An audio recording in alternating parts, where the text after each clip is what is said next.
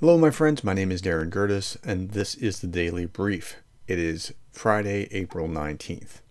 Okay, so there are 870 Russians off the battlefield, not a lot of tanks destroyed, 17 armored combat vehicles, 53 vehicles and fuel tanks are off the battlefield.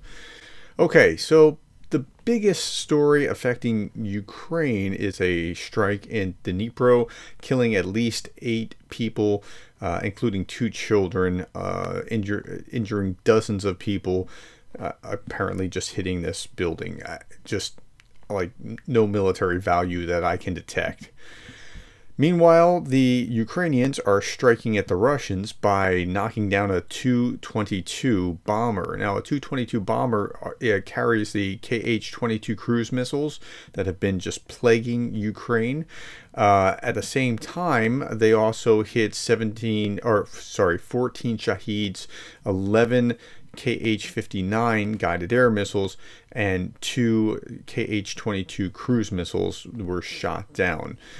But Russia does not want to admit that they these were actually shot that the, the, plane was actually shot down.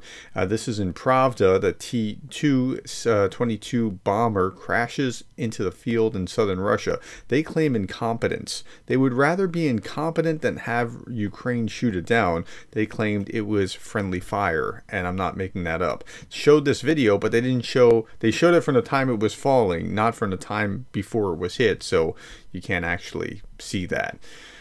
Meanwhile, last night, uh, Israel carried out a strike against Iran, and there's not a lot of details. We know that uh, Israel struck back at Iran. We know that uh, some bombs or missiles fell near an airbase. We know that there were explosions. We don't know the scope or the uh, if they hit whatever, it, but it appears like it was a very limited strike so that they could have struck back and maybe it's over. Maybe Iran decides to escalate some more. I don't know, but that's what we know so far.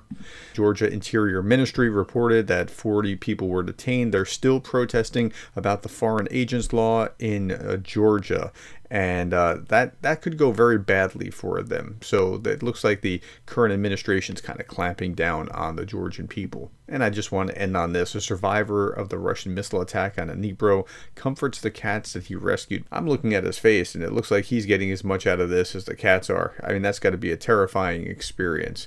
All right, my friends, uh, that's it. Thank you. Oh, by the way, 880 of you have joined my Patreon so far. Uh, now, that's not 880 that are, you know, uh, members in the paid sense, but I need you to come over to Patreon, even in the free version.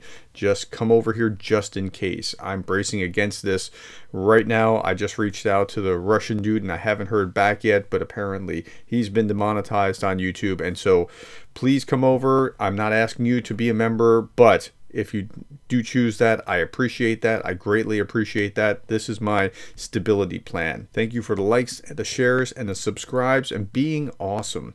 And thank you for being the kind of person who cares about Ukraine.